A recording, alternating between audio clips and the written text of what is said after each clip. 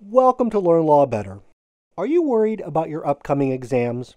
Have you heard about the IRAC method but don't know how to use it? In this episode, I will explain IRAC and show you how to use it on a law school exam.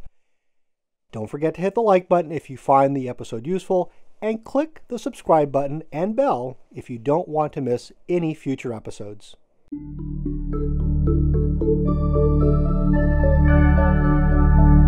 Hi, this is Bo Bies, and today I want to explain how to use the IRAC method, which is an organizational system for essay exams. By using this method, your essay will be written in a way that will earn you more points on an exam. Why, you ask? Because IRAC, used properly, will help you to focus your attention on the analysis that the exam graders are looking for. IRAC stands for issue, rule, analysis, and conclusion. The issue statement is what you are going to discuss. For example, in a criminal law essay, you might create the following issue statement. The issue is whether Frank is liable for the first degree murder of Carla when he stabbed her with a knife. Or in torts, you might have an issue like this Did Carlos commit the tort of negligence when he drove down the highway at night without his headlights, hitting Mariah. As you can see, the issue statement should provide the primary issue, the names of the plaintiff, and the name of the defendant. The rule statement is where you define the rule of law, legal term, or legal concept. In a contracts essay dealing with formation, the rule might read something like this to form a valid contract, there must be an offer, acceptance, and consideration. Or in civil procedure, you might have something like this An out of state defendant being sued in the state must have personal jurisdiction in the forum state.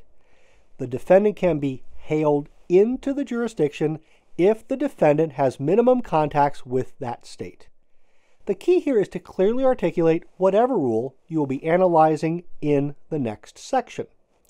The analysis, also called application section, is where you take the facts that you were provided in the essay question and you weave them with the rule of law to support whatever conclusion you have reached.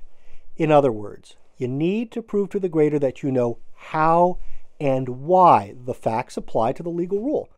Going back to our negligence example, the analysis section might read Carlos was driving his car at night without headlights. Though he could see by moonlight, his car was not visible to others on the road. So when Mariah pulled out from a side street, she did not see Carlos's car, resulting in severe injury to Mariah. When you write this section, assume the grader is a skeptic, but can be persuaded by a good argument. Throwing out facts without making the logical connections to the law is merely a story. Don't write a story. Finally, end with a short conclusion, something like Because all of the elements are met, Frank is liable for first degree murder. Now, what I have provided you with is an overview of the IRAC method. To use it better, make sure to watch my episode on nested IRAC. Otherwise, you may end up with a jumbled mess. Some final notes. IRAC is an organizational method which can help you get better grades. The genius behind this approach is that you can quickly determine if the paragraph is missing something. Suppose that you're writing a paragraph dealing with a valid offer in contracts.